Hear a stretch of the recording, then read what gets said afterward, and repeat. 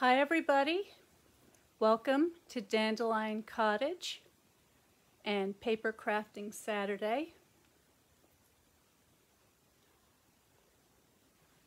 I'm Leslie Watkins and uh, today I thought we would make a little Easter basket. The bantam hens in my backyard have started to lay eggs. So here's a uh, Here's one of the eggs. They're very tiny. And this little basket that we're going to make today will hold four of them. So I'm going to turn you down and let's get started.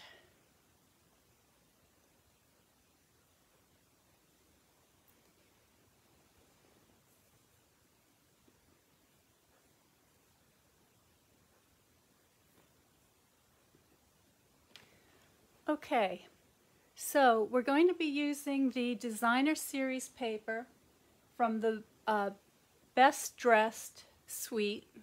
And all of these things can be found on my website at Dandelion Cottage Design if you go to the shop pages.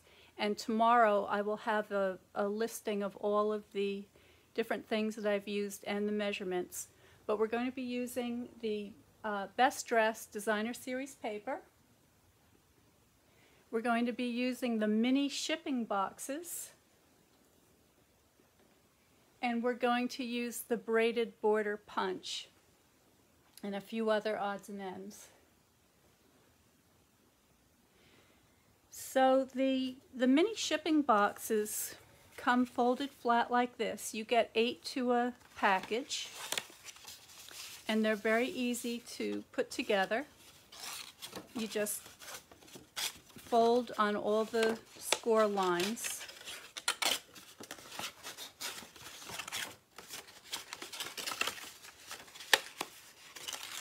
Like so.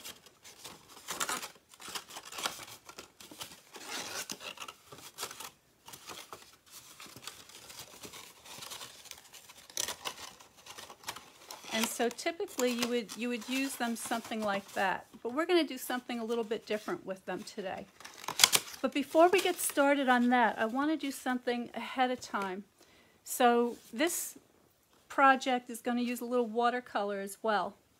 So I have a piece of watercolor paper here. And I'm going to take my spritzer. This is also available on my website. I'm going to spritz the paper, get it a little bit wet, and then using my one of my aqua painters, I'm going to take some watercolor and I'm just going to let that swirl around like so. And then I'm going to add a little bit of red now you can use watercolor, you can use inks, you can use the uh, sprinkles.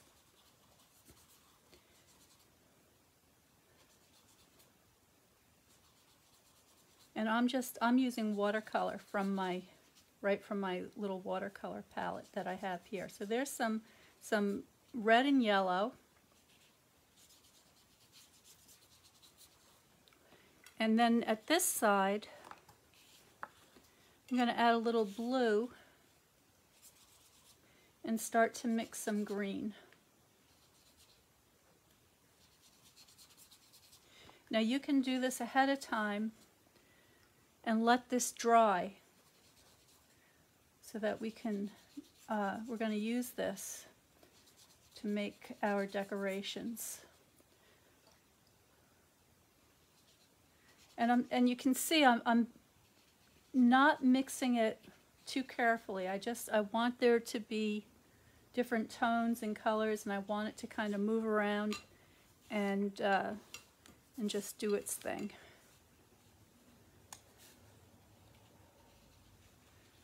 Okay, so that's all there is to that. So in the uh, essential toolkit that I have listed on the website, I have the spritzer and the aqua painters, which I use all the time. So I just want to point that out to you. And now I'm going to take my watercolor and I'm just going to let that swirl around. It's still very wet, so I'm going to put that aside to dry. All right, now back to the box. So here's our box. This is just about ready to go. But first, before we put it together, I'm going to take the designer series paper and this comes, these are six by six and they come in a package of, I think it's 48. Yes, you get 48 um, beautiful patterns. And I selected this one for today. And we're going to cut that down. So the dimensions are going to be two and a quarter. I just want to check that out because I see I wrote it down wrong, so let me just correct that. There we go. Okay, so I'm going to cut two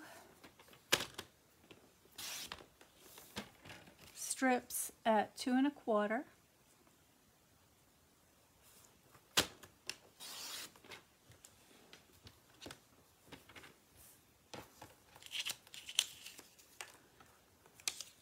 And then I'm going to cut these the other way at three and a half.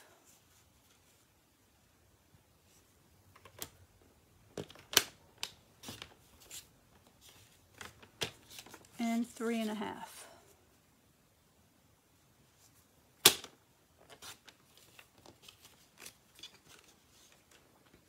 And that's all the cutting we're going to do. In addition, I have a piece of uh, cardstock here, and this color is called Soft Suede, and it's about three inches on the short side and eight and a half inches wide. And I'm going to take the braided border punch, and I'm just going to place this in there. And I'm lining this edge up with the edge of the punch right there.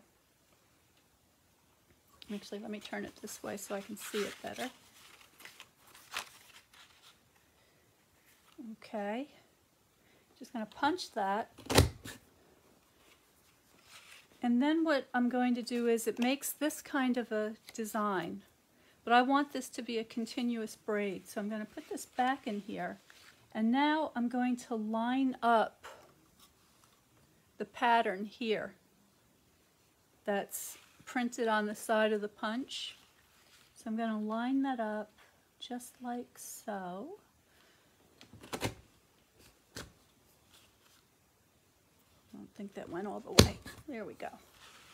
And I'm just going to keep moving that along, punching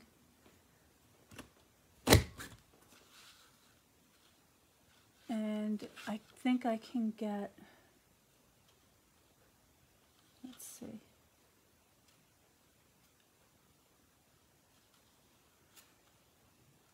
Let me try that one.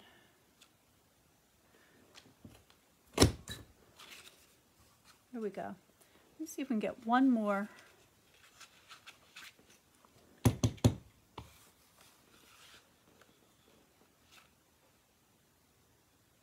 I want it to be as long as I can get it, so. There we go. Okay.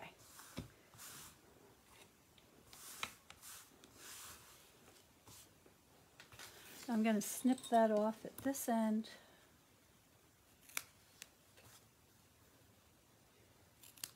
And, and this is going to be our handle. Pretty cute.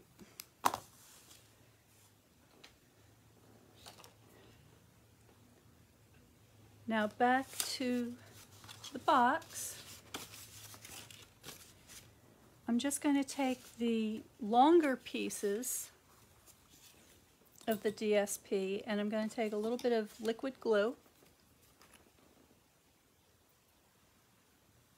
running some glue around the edges being careful to keep it away from the very edge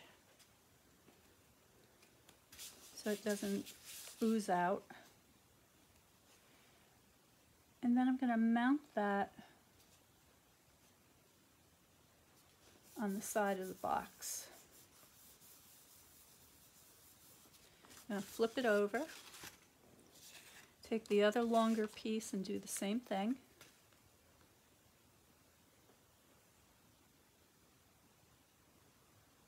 There we go.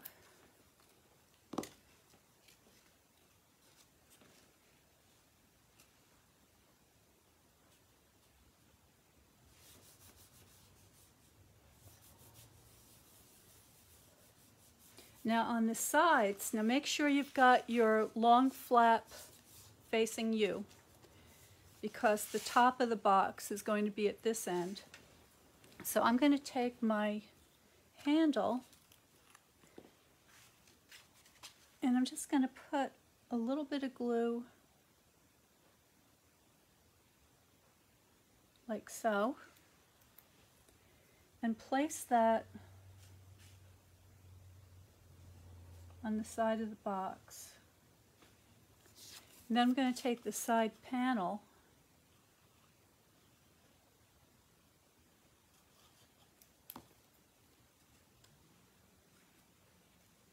and put that on top.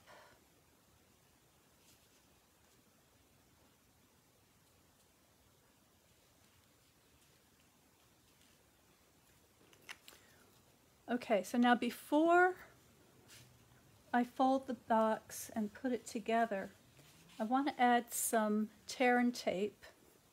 So this is double-sided tape and it's very strong. Just going to tear a little piece off. And on the inside of these flaps, I'm going to put it near the edge.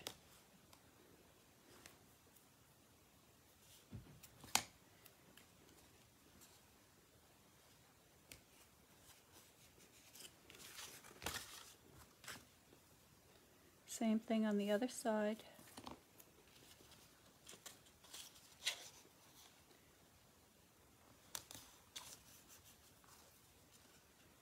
One more. There we go. Now I'm going to take my, my bone folder, which has glue stuck all over it. Let's take that off and give that a good burnish.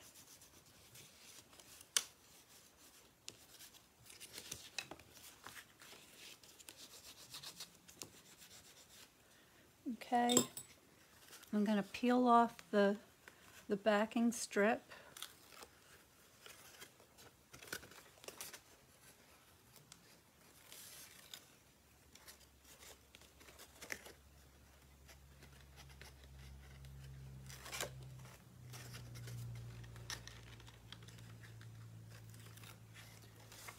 Okay. And now what I'm going to do is I'm going to just push these flaps in and stick them down.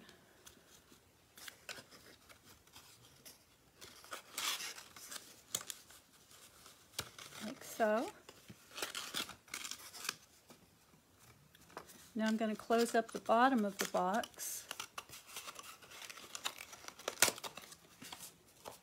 And now I can take this handle or other side of the handle. And I'm going to put a little bit of glue on the edge.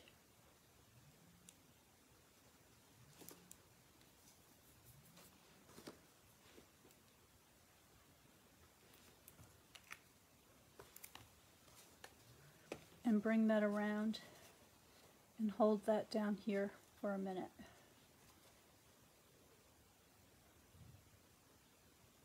Okay, now I'm taking my final piece of DSP.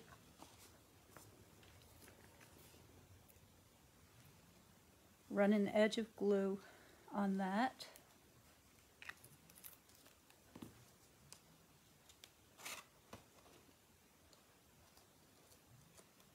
Put that right there. So that is our box. pretty quick and easy. Let me see. It took about 15 minutes. I'm sure you could do it faster if you weren't talking like I am. And then what I have is I have this um, kind of recycled shredded stuff, paper. I can stick that right in there, like so. And then I can take my beautiful little bantam eggs. By the way, these bantam eggs, which are about a third of the size of the standard eggs, make fantastic deviled eggs. They're just the right size to pop in your mouth. So there's, there's the beautiful little basket. But we're not done. I'm going to put this aside for a minute. And I'm taking back the watercolor that I did earlier. And I have this little um, Blossom Punch, which came in, uh, in the Celebration catalog, which is over now, but for $100 you got this for free. So if you spent $100 worth of product, you could order this for free. And I have a bunch of them, and I'm going to be using them for an upcoming online class, and I'll be sending them out to you. Excuse me. So if you're interested, please um, subscribe to Notes on Dandelion Cottage. Oops, sorry about that. Dandelion Cottage Design. Notes is my monthly announcement of the upcoming classes, so this will be listed in there. It's going to be a really fun class on uh, how to design your own paper. So I'm going to take this, this um, watercolor I did a little bit earlier, so it's nice and dry now. I'm just going to take the punch, and I'm going to punch out a bunch of flowers.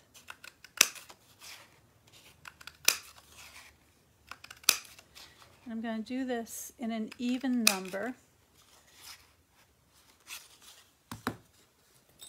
because we're going to put them together. So I'm going to, I'm going to punch out six.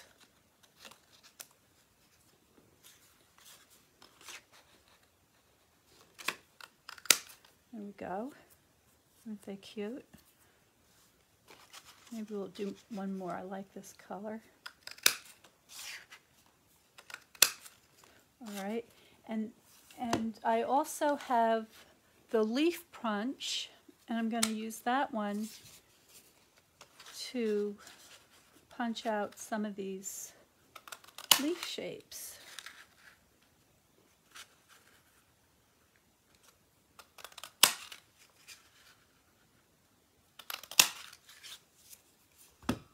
There we go.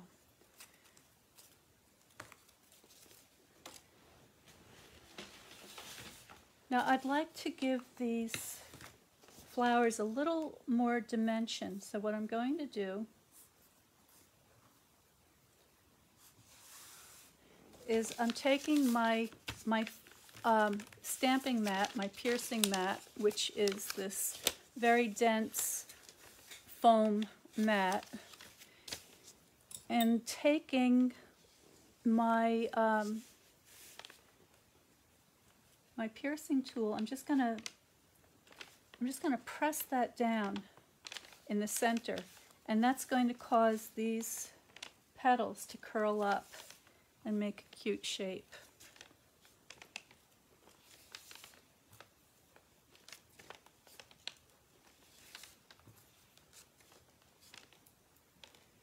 I think you can already see how pretty these things are.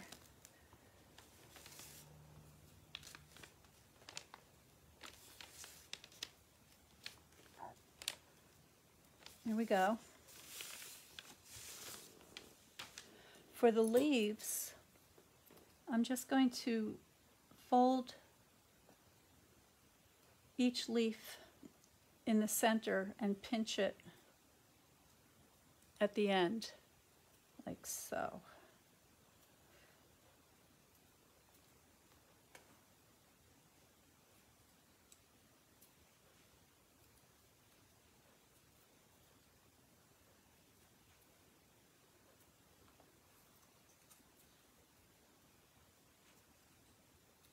Now, if you don't have um, your watercolor paper yet, or um, or your spritzer or your aqua painters, you can also punch these out of um, some kind of decorative designer series paper and get a nice effect as well. Now I've got the uh, mini glue dots here and I'm going to take one of the flowers and put that right on the glue dot and then press that into the center. Get in the center of the other and just sort of smush up those those petals. And I'm taking I'm taking the, the lighter colored flowers and matching them with the slightly darker bases. And I'm also offsetting the petals so that they're not lined up exactly.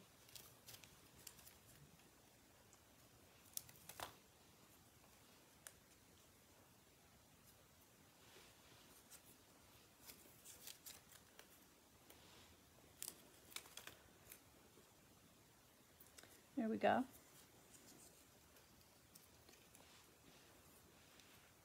Just curling these up a little bit more. Okay, so now getting back to our basket. Again, I'm going to take the glue dots and this time I'm going to put them on the back of the stem of the leaf. And I'm going to make a little cluster of leaves.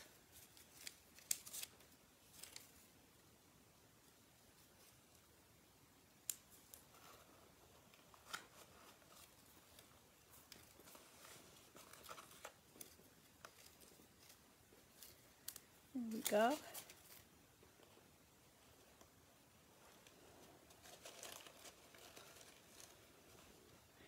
And then I'm going to do the same with the flowers.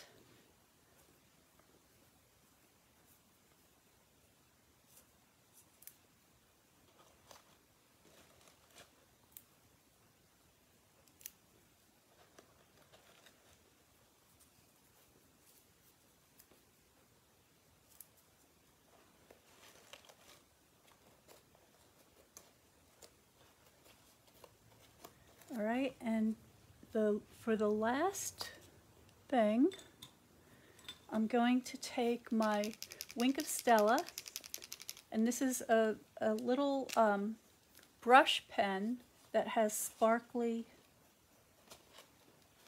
can you see that? Let's see.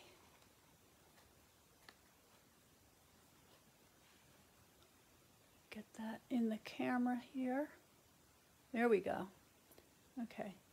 So I'm just lightly brushing these petals with a little bit of the sparkly Wink of Stella. Put some on the leaves.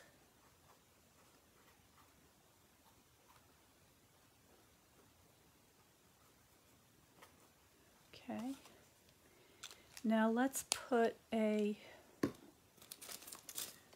let me get a rhinestone. Hold on just a minute.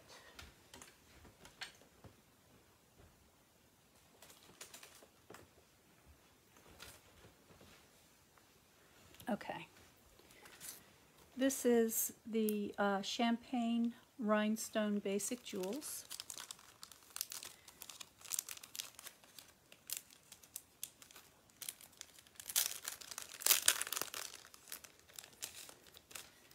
And I'm just going to take these big ones and put one in each of the center of the flowers.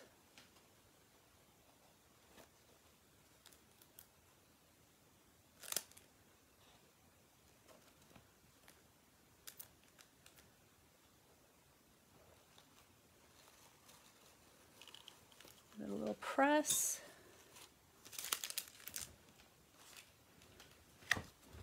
And that's our basket.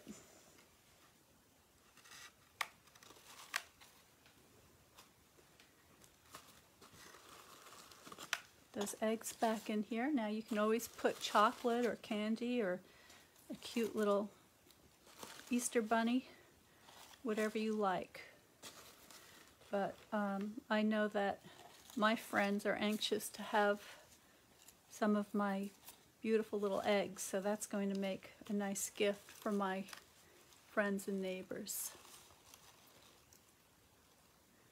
Okay, so thank you so much for joining me today. I hope you like the project. Let me know what you think below. And I just want to remind you that April's online class featuring positive thoughts is coming right up. And um, registration closes on the 8th. So you still have four more days to register. If you're interested, if you'd like to learn more about it, please go to my website at dandelioncottagedesign.com. And uh, if you have any questions, send me an email. So stay safe, stay well, stay creative, and stay home. See you next Wednesday at uh, 12 noon for Watercolor Wednesday. All for now. Bye.